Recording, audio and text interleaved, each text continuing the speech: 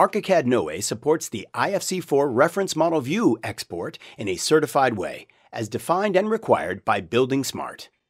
ArchiCAD has passed all Building Smart IFC4 certifications available so far.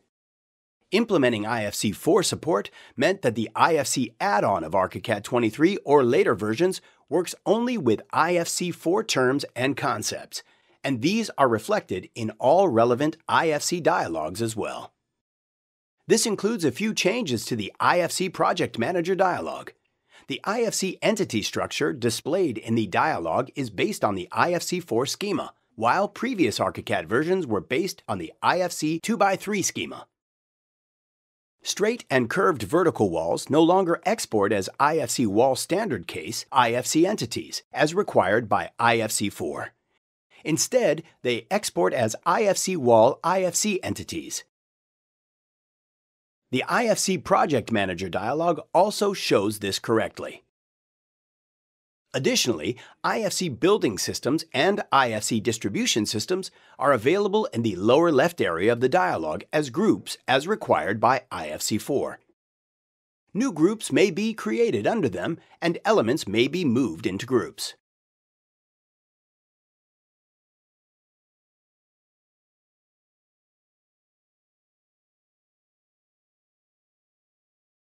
Many changes required for meeting IFC4 concern geometry conversion during IFC4 export. Thus, the geometry conversion for IFC export dialog has seen changes. Some of these changes happened under the hood, while some of them are ones that appear on the user interface.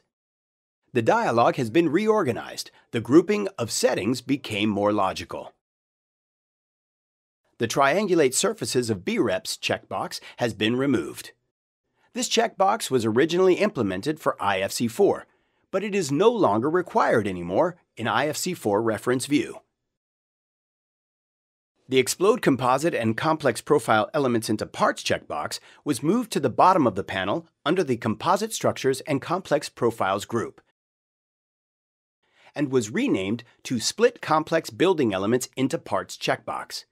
Plus, it offers the IFC building element hierarchy, so we can specify which IFC entity types to split.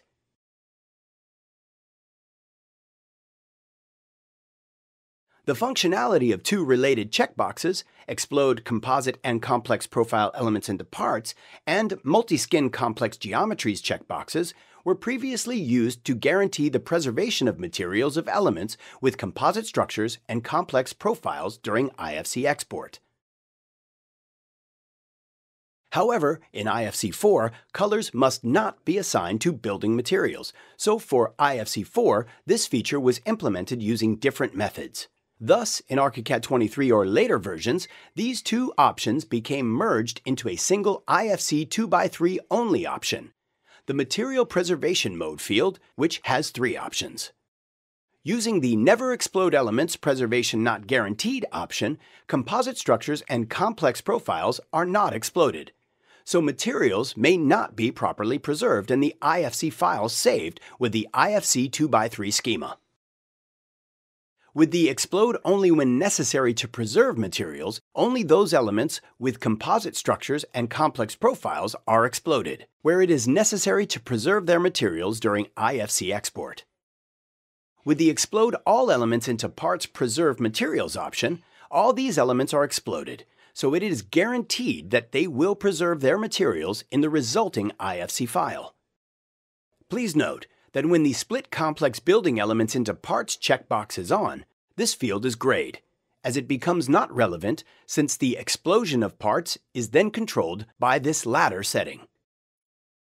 The Use Legacy Geometric Methods as in Coordination View 1.0 checkbox has been removed, since the Coordination View 1.0 Model View definition is no longer included among supported Model View definitions, as seen in the Model View Definitions field of the IFC Translators dialog. The IFC Site Geometry checkbox has also been removed from ArchiCAD 23 on. This geometry is always exported as a BREP. The structural openings and holes as separate elements checkbox became an IFC 2x3 only option, since during IFC 4 export openings and holes must always be exported. With these changes, ArchiCAD is capable of exporting IFC files that are fully compliant with the IFC 4 reference view model view definition.